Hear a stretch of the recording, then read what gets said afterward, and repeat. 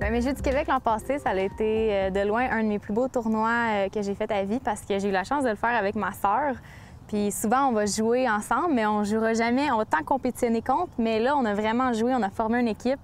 Puis euh, on a remporté deux médailles d'or ensemble. C'était vraiment une des plus belles expériences de ma vie. Puis je vais m'en rappeler pendant vraiment longtemps. Puis je trouve que cette expérience-là, ça nous a vraiment rapprochés. Moi, c'était mes premiers jeux. Puis euh, j'ai tellement aimé mon expérience, entre autres parce que j'étais avec ma sœur. C'était tellement le fun. On a eu du plaisir, puis on s'est vraiment bien complété dans les, les, tournois. Puis euh, on a, ça l'a prouvé. On a eu deux médailles d'or ensemble.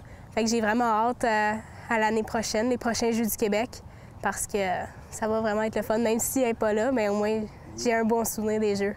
Moi, comment je me suis intéressée au golf, c'est un peu niaiseux à dire, mais c'est les, les, vêtements de golf qui m'ont accroché. Au début, j'étais pas trop golf, mais quand j'ai vu tous les beaux petits kits qu'on pouvait se faire, j'ai vraiment commencé à aimer ça. Puis après ça, on a fait les camps de golf euh, du Mirage. Puis après une journée, moi ma soeur, on a dit à nos parents qu'on voulait les faire les six semaines de l'été.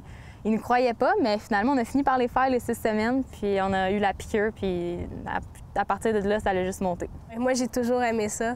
Puis... Euh, J'aimais les kits, mais j'aimais ça le golf aussi. Là. puis euh, non, mais on a toujours aimé ça. Puis surtout être avec les jeunes, on s'est fait des amis. Puis c'est vraiment comme ça qu'on a accroché avec les jeunes, puis de voir qu'il y a du monde de notre âge. Puis c'est vraiment une bonne expérience pour même les jeunes qui veulent commencer au golf, vraiment les commencer euh, avec des gens de leur âge. Ça fait la différence vraiment. De mon côté, euh, j'étais vraiment satisfaite de mon été. J'avais comme objectif de vraiment euh, percer au côté américain pour euh, pouvoir décrocher des bourses euh, pour aller à l'université américaine.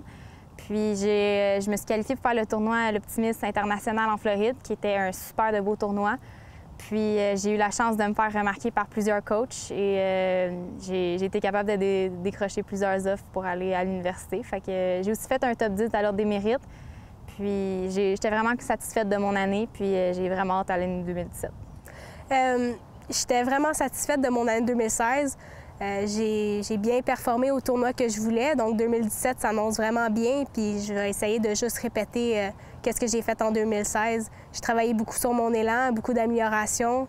J'ai grandi, c'était une réadaptation à reprendre.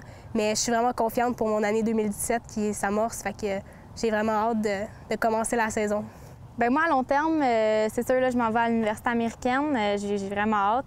Euh, je vais étudier en administration là-bas. Euh, c'est sûr que la carte de la LPGA, c'est euh, un ultime rêve, c'est un de mes buts. Donc, je travaille vraiment, vraiment fort pour l'atteindre.